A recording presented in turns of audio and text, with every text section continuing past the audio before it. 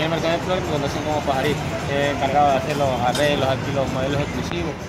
Eh, ya sea que haya que renovar o hacer modelos diferentes para que la gente pueda tener más sistema de comprar tanto económico como medio y un poquito alto también los precios porque las rosas también suben en este feriado, ahorita las rosas suben un poquito más.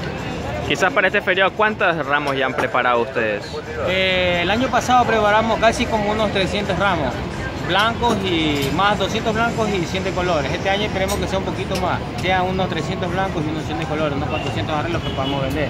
¿Tú cuánto tiempo ya llevas acá en el mercado de flores? Aquí desde que se inició, que son 10 años que tiene el mercado de flores, pero anteriormente, ya con lo anterior, tengo 15 años en lo que es el negocio de las flores. Empecé desde cero, desde abajo.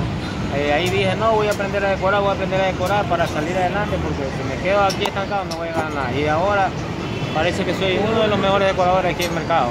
¿Y cómo, cómo fue la, llegada acá? Eh, ¿De casualidad? ¿Algún familiar? No, llegué por medio de mi papá y mi abuelita, que ellos eran los que tenían un local antes allá en el Guachito. Y como ellos ya ahora no pueden, ya pues herencia de mi padre y de mi abuela, yo hago ahora los arreglos aquí por ellos. Si no, no, no creo que no hubiese emprendido el arte. Dejé el colegio por, por este arte que me parece muy lindo y con esto estoy saliendo adelante y he sacado a muchas personas, ayudado también a que aprendan a decorar.